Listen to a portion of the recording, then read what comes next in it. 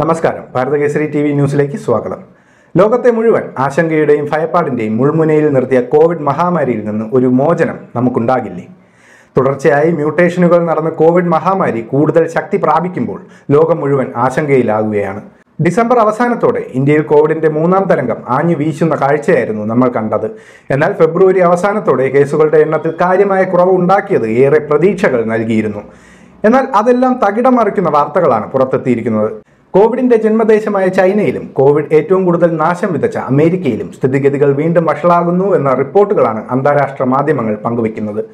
ഭയക്കേണ്ട സാഹചര്യം രൂപപ്പെട്ടിട്ടില്ലെങ്കിലും മുൻകരുതലോടെയാണ് ഈ രാജ്യങ്ങളൊക്കെ പുതിയ സാഹചര്യത്തെ സമീപിക്കുന്നത്. അതേസമയം നിലവിലെ സ്ഥിതിഗതികൾ ഓരോ പ്രദേശങ്ങളിലും ഓരോ രാജ്യത്തിനും വ്യത്യസ്തമാണെന്നാണ് വിദഗ്ധരുടെ അഭിപ്രായം. ഒമിക്രോൺ വ്യാപനത്തിലുള്ള കാലതാമസം ബി എ ടു വകഭേദത്തിന്റെ വ്യാപനം കോവിഡ് നിയന്ത്രണങ്ങളിലെ അലംഭാവം എന്നിവയെല്ലാമാണ് ഇപ്പോൾ ചൈനയിലും അമേരിക്കയിലും കേസുകളുടെ വർധനവിന് കാരണമായിരിക്കുന്നതെന്നാണ് ആരോഗ്യ രംഗത്തെ വിദഗ്ധരുടെ അഭിപ്രായം.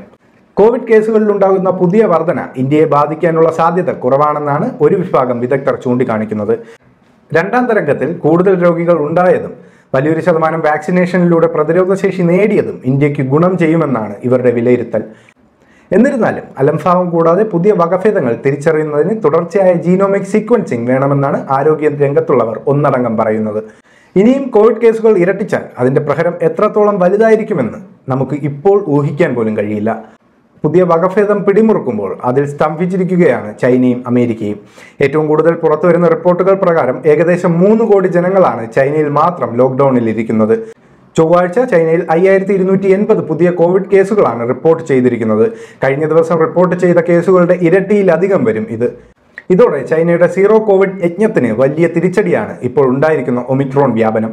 ഭയമല്ല ജാഗ്രതയാണ് വേണ്ടത്. ഇന്ത്യയിൽ വരില്ല എന്ന അമിത ആത്മവിശ്വാസവും ആവേശവും കൊണ്ട് നിയന്ത്രണങ്ങൾ കാറ്റിൽ പറത്തരുത് എന്ന് പ്രത്യേകം പറഞ്ഞുകൊള്ളട്ടെ. നന്ദി നമസ്കാരം.